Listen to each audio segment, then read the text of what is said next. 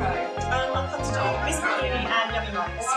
Oh, do your mum? Yeah. Oh, how old? Uh, 20 months. Brilliant, and you're in such great shape. Worked hard, ready to show it off. How long has your training been going on for? Uh, about nine months in total, because I had to get rid of, rid of my mummy. My mummy tummy.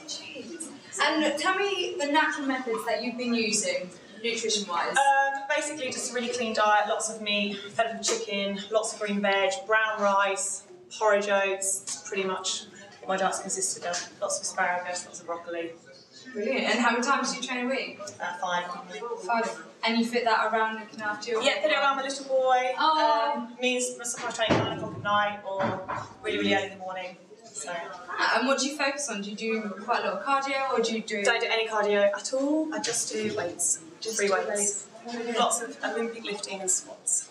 Super. I think that's pretty much covered everything.